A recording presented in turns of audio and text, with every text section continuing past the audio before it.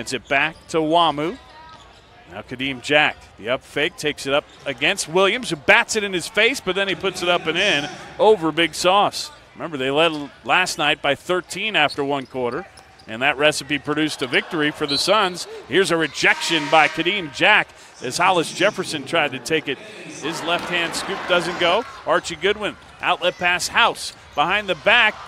Loose ball taken by Kadeem Jack. House got sloppy with that pass. It's the bucket, and now Matt Williams Jr. tries another three. That doesn't go, but Kadeem Jack on the offensive glass. He'll put it up with the right hand and get it to go. Archie Goodwin.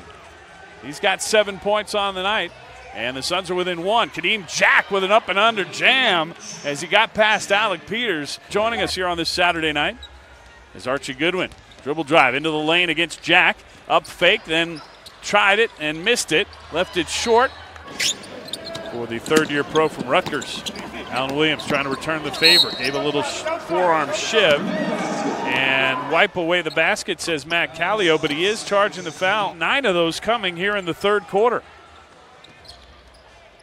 Nwamu will try to answer, and he does. Oh, my goodness. These are two of the best three point shooters in the league, folks. And he'll cross over against Goodwin, dump it back to Jack, goes up strong with it, and somehow made that falling down to his backside. Seen enough. Here's another look. G gave it up to Jack, and somehow he nailed it. We'll take a break. 6.49 left, and it's a 10 point Suns lead.